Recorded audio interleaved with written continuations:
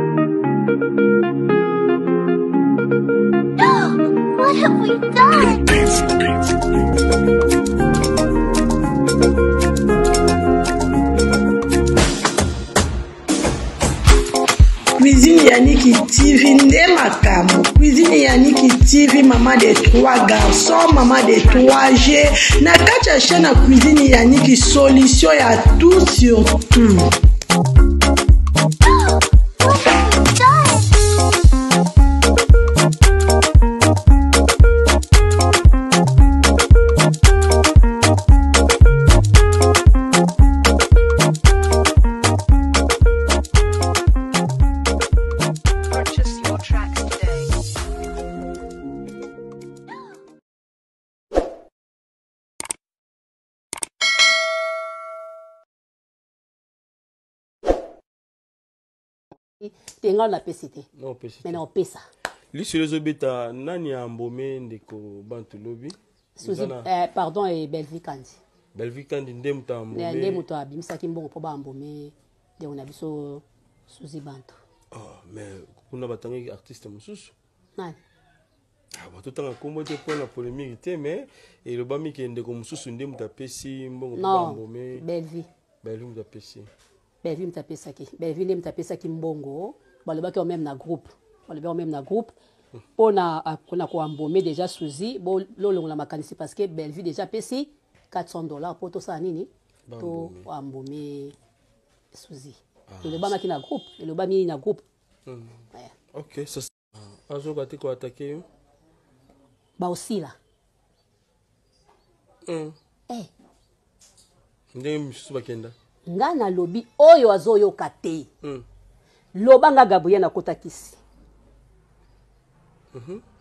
loba nga gabriel nakenda koluka ata succès na nga na ndako ya nganga loba natya ta lokolo na ndako ya nganga mhm. loba nga gabriel nabwakela moto maladi mhm. to nasala moto mabe apart kaka kozwa mobali ya moto wana ye biso so tosala yango tozali awa moto alingi alakiso nde ye aza mwasi kitoko kitoka mwasi ya libanda te ya bozindo ya mwasi oyo ya na kati eske boyokana bobongisa po rankine oyo ezomemama soki motu moko akufi kombo ya artiste moko ifo ebima kaka ke kingandi akufi eh, batika bablage batika bablage moto akufa na masumu na ye moko ah bon? moto moto akufa na makambo na ye botika nga tranquille naboyi hmm. naboyi emaki mokumba na nga nga moko eh. nalingi te abenga Teresa mpo baboma moto mpe bazongana kikamaradi te ezalaki kaka oyo azwi problème ake tala ye mpe kuna azwi problème ake tala ye moto abenga moninga asenga pardon te Suzy alobaki ke ngai nakotya na se te natyaka na se na likambo oyo ngai nabebisi nabongisaka oyo ngai nabebisi oyo ngai nabebisi te ah, nga balobaki bana nga balobi na ya te nakendaki te mm. nakendaka te ya gabi susi bantu azwa ntango kovanda mpa na yo te avanda mpa na ngai ba deux semaines Mm. A part nga na yebi avandaka pe bakata tikaka epa na ye. Mm-hmm. Na ndaku na ye. Aza ofanda pe bakata. Bandi susu pa Theresia.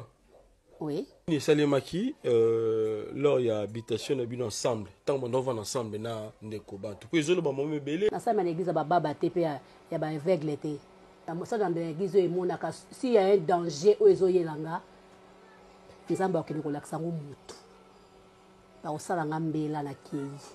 Il faut na mi na batela vie na nga. Neti nga ba pesaka nga pantalon. Hum. Ba lumbisi nga solo na nzoto. Ah bon? Eza oyo nga na viva. Wana pa nazalaka na so nazalaka na Nzambe te. Wana pa collègue na yo. So nazalaka na Nzambe te. Wana pa collègue na yo. Eh. Zaki ya Nzambe te. Odefisaki elamba ou bien? Te. Ka pamba. Jalousie kaka. Ayibi elamba na mbetu na chambre na ye. Bayibi elamba te, aye kopesa nga eloko ke nasombi bibale yo zwa moko. Po balingaki balia ngai. Okay. Je te dis soki nazalaki ya Nzambe te Yves 2022 bolingaki bolela Gabriel. Ah bon? Pe pota wana elingaki esila te na mitema na bino. Parce que Gabriel aza ka Gabriel aza lokola Daddy Dikambala. Mm, mm, mm, mm, mm, mm. Ozoyoka? Bon. Comme je suis pas bikufa kufa. okay. na na famille chrétienne moto aotika nga aza te mm. okay. ozoyoka mm. nga kobela suka nauti kobela awa ive nasila pema pema eza te nasala 3 jours na soins intensive nde bayosamaki mbete olali suzi mpe alalaki asalaki 11 jours na koma oyo azoyoka na ngai te mm. oyo azokende ka bandako ya nganga mpo na nga mm. naza distrait te okay. okokende okay. ngai nakotikala ngai nakotikala ngai nakokufa na ngai te mm. ngai nakoyesa teresa azala makasi mpo ene moto abomi na ye suzi te mm -hmm. eh, ye abomi na ye motu te bazalaki elie ye elie oyo eyebi bango mibale bazalaki bapire pire ya pire mm. ya jete mm.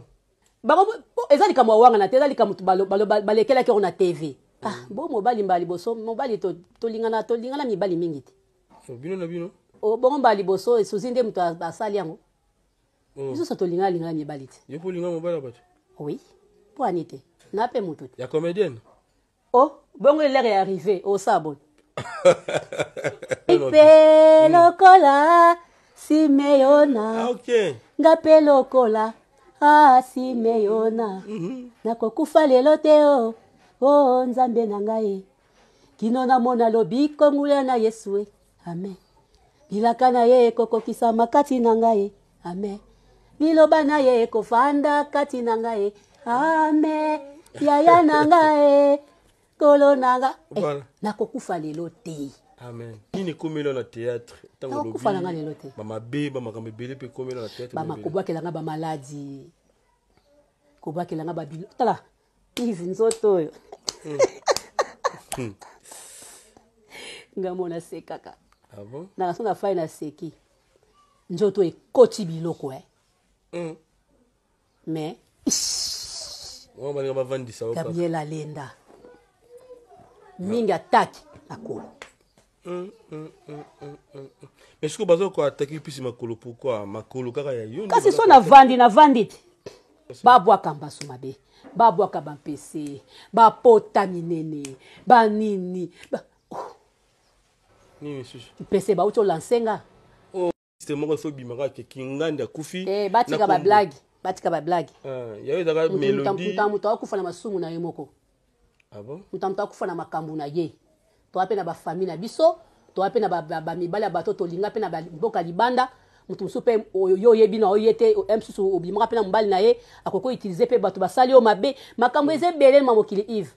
Mm, mm. Koyokana te eza ke koboma mutu te. Mm -hmm. kure ekei molunge ekoti ye koyokana te eza koboma motu te mhm.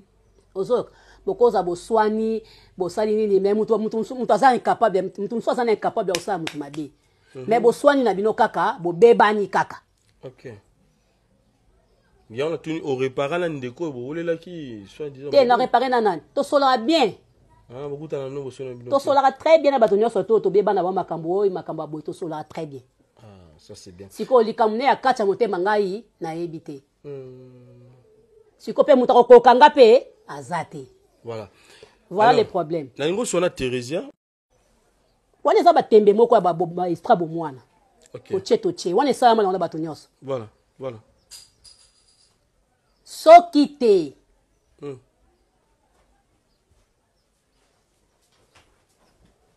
katakata mbeli mbeli mais ya gabi tozali awa est ce que eza mpe na bato yosala mpe mabe wana peut-être nde lobi olinga mpe mobali ya moninga mpe hmm. esalemaka nango peut-être ntango mosusu bamibali ya baninga nolinga te en retour nde ezosalaki mais yo mpe osalaki te ah, bango nde babanda te nga nakenda na nga epai ya motu ya pamba te mhm. baoyo bayebi masolo bayebi ok moto alinga alakisa nde ye aza mwasi kitoko Kitoka mwasi ya libanda te ya bozindo ya mwasi ya na kati mm -hmm.